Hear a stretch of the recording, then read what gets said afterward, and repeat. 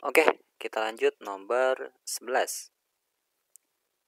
Dari senyawa hidrokarbon berikut yang tidak mengalami reaksi adisi yaitu nah, untuk menjawab kita harus tahu dulu definisi adisi itu apa. Kira-kira apa? Oke. Adisi adalah reaksi pemutusan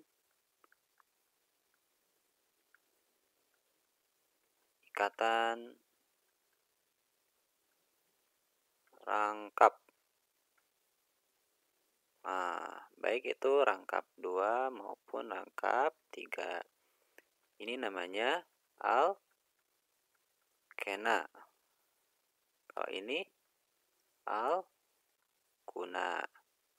Oke, berarti kita cari senyawa yang selain alkena dan alkuna. Gampang. Kita cari saja yang akhirannya bukan ena atau bukan una. Yang A, akhirannya ena, berarti alkena rangkap 2. Yang B, sama.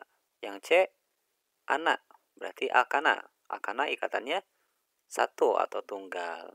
Yang D, una atau rangkap 3. Yang E, ena atau alkena rangkap 2. Jadi jawabannya adalah C.